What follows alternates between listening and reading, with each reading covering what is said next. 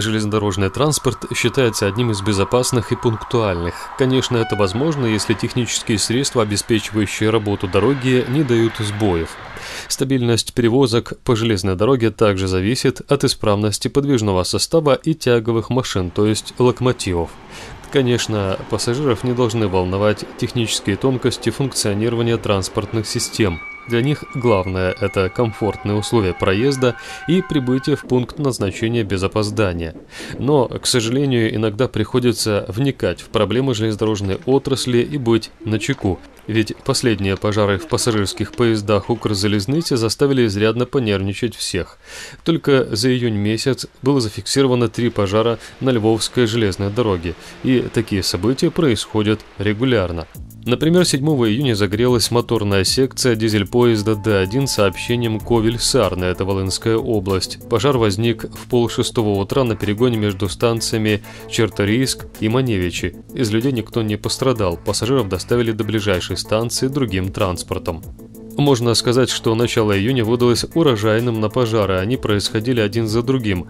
Уже через два дня, то есть 10 июня, пожарные ехали тушить тепловоз, который вел поезд Киев-Солотвино.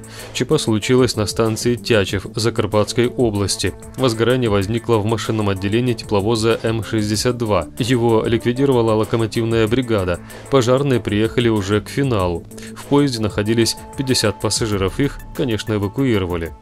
Гиена огненная не прошла мимо святая святых локомотивного депо Львов Западный и 28 июня решила испепелить мастерские. Они находятся прямо возле станции Львов. Площадь возгорания составила около 1000 квадратных метров. Горели мастерские, где проходит техническое обслуживание локомотивы. Пожарные боролись с огнем 4,5 часа. Из людей никто не пострадал.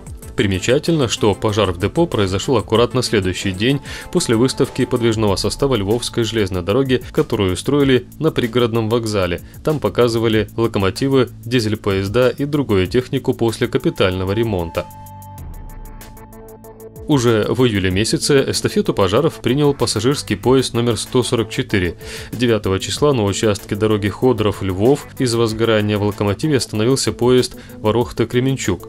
Судя по рассказу одного из пассажиров, не доезжая до платформы под монастырь, локомотивная бригада пыталась загасить возгорание в машинном отделении тепловоза 2М62. После неудачной попытки ликвидировать пожар, поезд поехал дальше до ближайшего пруда. Там уже при участии пассажиров и местных жителей принялись носить воду, чтобы спасти локомотив от огня. В итоге основную роль по ликвидации пожара взяли на себя спасатели, которые приехали через 10 минут. Почему горят локомотивы, ответ на этот вопрос можно долго не искать. Ясно, что моторные секции дизель-поездов и тепловозов поджигают не злые духи. Здесь дело в плохом техническом состоянии машин. Из той информации, что есть в открытых источниках, можно сделать вывод, что тяговый состав имеет перепробеги, то есть просроченные сроки ремонта и кучу других технических проблем.